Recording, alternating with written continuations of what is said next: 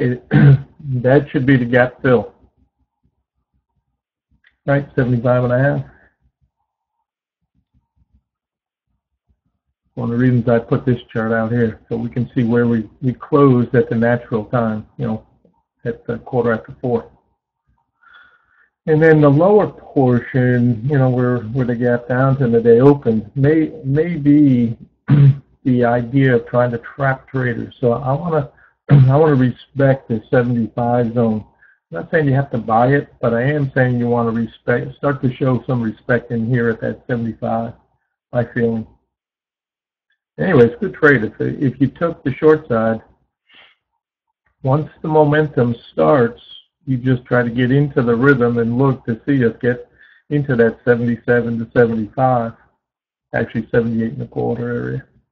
And anything below that's the good fortune part. And then be very careful today about overstaying. all we need is one good trade.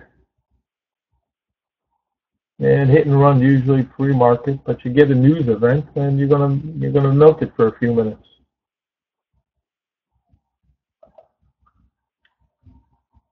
And these straight down poles can get snapbacks too.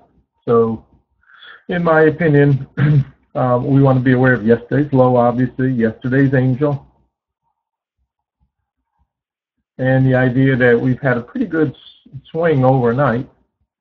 And the 60 minute chart, probably the best chart to help for the early morning uh, weakness. And the goal today is don't get caught.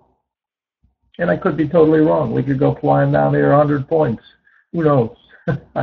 Certainly, nobody knows. My guess is that, you know, we've already had good fortune coming down there, and that's why I'm going to treat this trade. That I said I'm going to be conservative today. So anytime I can get the half cap and gap and get it early and in my pocket, and get on the phone and call somebody and say, you want to go? It's like, oh,